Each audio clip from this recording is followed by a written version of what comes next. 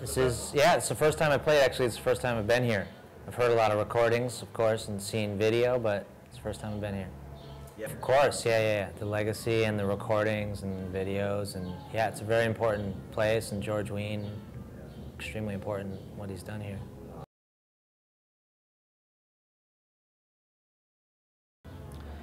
Well, for me, what I think is great about these is they're like a, it's like a sampler, you know, so people can come, you know, some of my family came to see me, and then they saw Hiromi, and they're going to see other things they would never, they have no idea what it is. So, and some, and, and you know, my nephews are like 10, 12, so that's great for them. They, they, they get exposed to stuff they would never, ever, you know, uh, just, you can't find it on TV, for instance. So to be able to come to a festival like this and to hear a bunch of really different music, think that's that's really great. And, I think there's something about the atmosphere too. Just being this having it outside makes it a little more casual, so people aren't um, intimidated in some way. It's just kind of you can walk around and sit in your chair and you know.